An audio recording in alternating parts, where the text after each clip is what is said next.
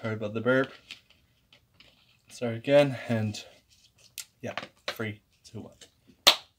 Hello, everybody. Welcome back to another video. In today's video, uh, I'm going to be talk telling you why uh, that Quin Houff is not a bad driver, and actually, he's be better than you think. So, to first get into his career, he first started down on Xfinity, according to Austin Windrick on his shorts. He actually brought, de- uh, unlike bad, uh, like underfunded teams like JD Motorsports and other types of teams inside the top 20 and top 15, top 15, maybe even the top 10 at, at times. And and he actually looked like a, a, a true potential with those underfunded teams. Eh, in 2018, I'm pretty much I'm pretty sure he did the same thing, but in 2019 he and in 2019 as well. In 2019, he got a cup start with Spire Motorsports. So let's be real, Spire Motorsports won a freaking race. So Justin, so uh, thanks Justin Haley. So Quin Houff was inside a a a, a, a rate uh, like a team who won a race. Uh, that that was crazy. Had a crazy ending and. In 2020, Quin Houff was announced that he was going to replace Landon Cassill, which I'm still not too keen on that decision because I barely knew who the hell this man was when when he when I first saw him the Daytona 500. But as time grew on, I actually started to like him, and and if he wasn't tearing up cars, he actually kept cars clean. And most of his crashes weren't his fault.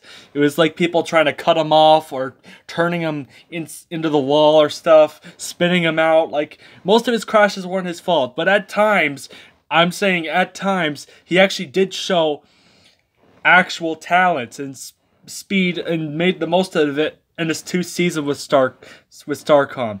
In 2020, he got a top 15 and was hovering inside the top 10. Was in the top 10 from for the late portion of the race with Cody Ware and Timmy Hill. So it he finished a decent 13th place in like a Starcom racing car. So if that doesn't tell you, I know it's a Talladega, and if anyone can make something big at Talladega, but if that doesn't tell you that Quin Houff can drive, then I don't know if anything can tell you that that other like Timmy Hill, Cody Ware can drive. And he's also gotten the team a couple top 25s and top 20 uh, places when they are when they usually run like um 30th on back on a weekly basis. So Derek Cope's team, I know they weren't the best team, but they actually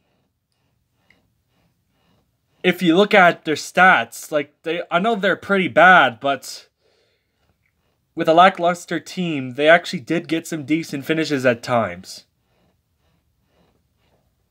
Like hell, Landon Cassill nearly won the team the 2019 July race, like I just said, but he pitted. I wish he stayed out. Damn it.